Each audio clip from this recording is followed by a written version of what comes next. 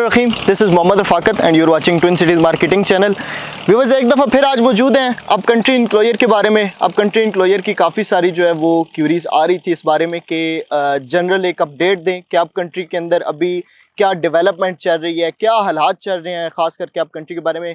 चूँकि हमारी अब कंट्री की बारे में जो है वो एक रेगुलर वीडियोस आती थी, एक प्रॉपर सिलसिला जो है वो स्टार्ट हुआ, वो था अब कंट्री का।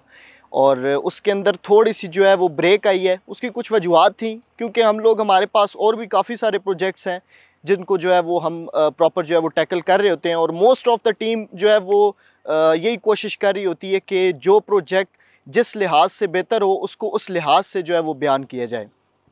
तो अब कंट्री जो है देखें जी जो भी सोसाइटीज़ होती हैं ना, उनकी प्रॉपर एक फेजेज़ होते हैं। वो एक फेजेज़ से गुज़र के आती हैं और इसके प्रॉपर एक फ़ेज़ होते हैं कि ये फ़र्स्ट फ़ेज़ है, ये फ़ेज़ इसका इंस्टॉलमेंट प्लान क्या है, ये फ़ेज़ इसका डेवलपमेंट क्या है डिलीवरी क्या है। फिर एक फ़ेज़ आता है जिसके अंदर इंस्टॉलमेंट प्लान भी होते हैं लमसम प्लान भी होते हैं और उस टाइम पर डिवेलपमेंट उसकी एक मिड पॉइंट पर पहुँच चुकी होती है। और जो फिर थर्ड फ़ेज़ होता है थर्ड फ़ेज़ के अंदर आप ये कह सकते हैं कि थर्ड फ़ेज़ के अंदर मतलब टोटली प्लॉट जो होते हैं वो लमसम के अंदर आ जाते हैं डिवेलपमेंट कंप्लीट जाती है और तमाम जो प्लॉट्स होते हैं वो पोजेशनेबल होते हैं, तमाम प्लॉट्स जो हैं वो रेडी टू कंस्ट्रक्ट होते हैं। तो ये एक आप कह सकते हैं कि ये थर्ड फ़ेज़ के अंदर है।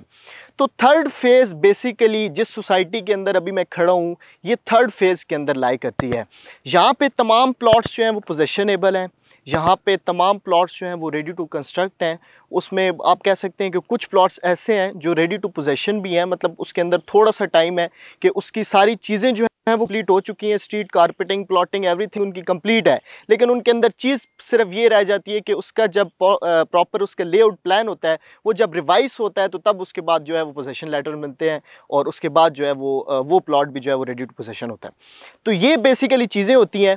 अब कंट्री के बारे में देखें जी, मैं आपको एक बड़ी सिंपल सी चीज़ आज बताने लगा हूँ जो कि पहले वीडियोज़ के अंदर मैंने आपको नहीं बताई है। हर बंदे के कुछ कंसर्न्स होते हैं। आप बड़ी अच्छी तरह जानते हैं कि आज की डेट में जो डॉलर है, वो डबल सेंचुरी क्रॉस कर चुका है। और बहुत सारे लोग जो हैं, वो अपने बैंकों के अंदर जो उन्होंने पैसा रखा हुआ है, वो उनका काफ़ी हद तक ऑलरेडी डी वैल्यू हो चुके हैं। और जिन्होंने अभी भी नहीं सोचा कि हम लोग इन्वेस्टमेंट जो है वो करें तो वो प्लीज़ अभी इस चीज़ को जो है वो सोचें। कि अपना पैसा जो है वो डी वैल्यू होने से बचाएँ। रियल इस्टेट एक ऐसी इन्वेस्टमेंट है, एक ऐसी चीज़ है जिसके अंदर आप इन्वेस्टमेंट कर सकते हैं और सेफ़ एंड सिक्योर कर सकते हैं। अच्छा इसके बाद जो है वो कंसर्नस की बात आती है, जिसके बारे में पहले आपसे बात कर रहा था कि हर बंदे के अपने कंसर्नस होते हैं। कुछ लोग इस तरह के होते हैं जो कहते हैं कि हम लोग फाइल्स परचेज़ कर लेते हैं। लेटर ऑन जब एक सोसाइटी वो डेवलपमेंट करेगी डिलीवरी करेगी, ये एक आप कह सकते हैं कि लॉन्ग टर्म है और ये एक इन्वेस्टर पॉइंट ऑफ़ व्यू है। एक पॉइंट ऑफ़ व्यू ये होता है कि मैं प्लॉट लेता हूँ। आफ्टर टू और थ्री इयर्स जो है वो यहाँ पे मैं घर बनाऊँगा। ये मेरी एक इन्वेस्टमेंट भी हो जाएगी और ये मेरी एक आ, मतलब आप कह सकते हैं कि यहाँ पे मैं एक अच्छी लोकेशन वाला जो है प्लॉट लूँगा और एक अच्छा घर जो है अच्छी लोकेशन वाला एक प्लॉट लूँगा और अच्छा घर जो है वो यहाँ पे एक बनाऊँगा। तो एच ब्लॉक के अंदर मैं बेसिकली आपको ये बताना चाह रहा हूँ कि पहली भी कुछ वीडियोस के अंदर मैंने आपको बताया कि एच ब्लॉक के अंदर काफ़ी हद तक घरों की तमीर हो रही है। अभी मेरे सामने एक पीछे घर है, अगर आपको कैमरा के अंदर दिखाई दे रहा हो, वहाँ पे भी, वो भी घर की तमीर जो है, वहाँ पे भी स्टार्टेड है। इसी तरह ये कुछ घर थे जिसके अभी तक इंफ्रास्ट्रक्चर जो है वो तामीर हो चुका था, लेकिन अभी तक प्लस्तर नहीं हुए थे। प्लस्तर हो चुके हैं पेंट हो चुके हैं।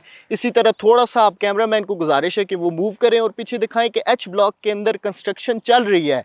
लोग धड़ाधड़ घर बना रहे हैं। अब यहाँ पे आपको बताने का मकसद ये है कि यहाँ पे ये अब घर जो है वो बिल्कुल कंप्लीट है, लेकिन यहाँ पे अभी तक आबादी नहीं आई है। उसकी वजह क्या है? उसकी वजह ये है कि जब प्रॉपर यहाँ पे आप कह सकते हैं कि यहाँ पे सारी चीज़ें आ जाएँगी गोया यहाँ पे चीज़ें मौजूद हैं, लेकिन अभी तक लोगों के माइंड में ये चीज़ है कि यहाँ पे रहना जो है वो इम्पॉसिबल है। रहना यहाँ पे इम्पॉसिबल नहीं है। यहाँ पे आप मतलब पहले भी कुछ लोग जो है वो यहाँ पे रह रहे हैं, उसके अंदर हमारे डीलर हजरात भी आते हैं उसके अंदर इनकी मैनेजमेंट के भी लोग आते हैं जो ऑलरेडी यहाँ पे रह रहे हैं और वो ये चीज़ हमें बताते हैं कि यहाँ पे रहना इस तरह मुश्किल नहीं है। यहाँ पे गिरजा रोड है बिल्कुल साथ। गिरजा रोड जो कि चार किलोमीटर जाके सीधा ठली इंटरचेंज को कनेक्ट करता है। गिरजा रोड के ऊपर सारी करियाना वगैरह जो भी एक बेसिक नीड्स होती हैं, जो कि यहाँ पे रहने के लिए एक चाहिए होती हैं चीज़ें, वो यहाँ पे मौजूद हैं।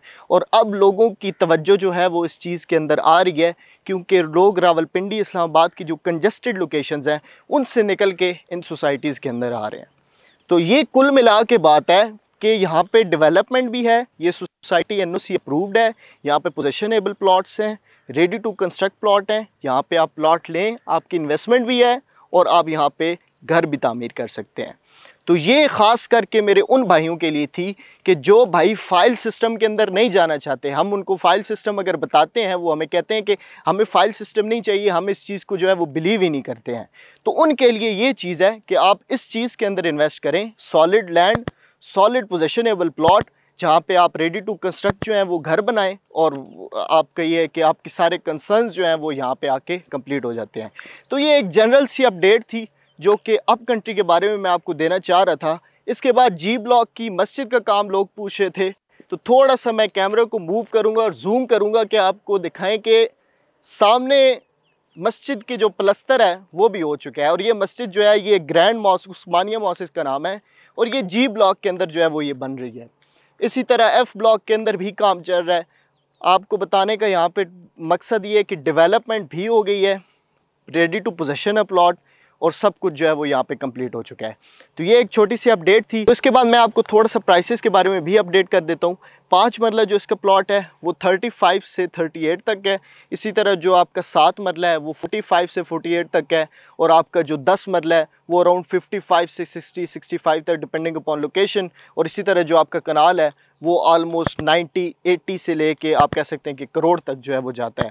तो ये कुछ प्राइसेस की अपडेट थी और ये सारे के सारे याद रहे, ये प्लॉट्स जो हैं वो रीसेल के अंदर है। इसके अंदर कोई इंस्टॉलमेंट प्लान नहीं है लमसम है, आपके सामने प्लॉट है, आप देखें पसंद करें परचेज़ करें। तो ये इसकी टोटल जनाब अपडेट थी आप कंट्री इंक्लोयर की। इसी के साथ मुझे इजाज़त दीजिए, अपना ख्याल रखें, अपने गिरदोनवा का ख्याल रखें। फ़ी अमान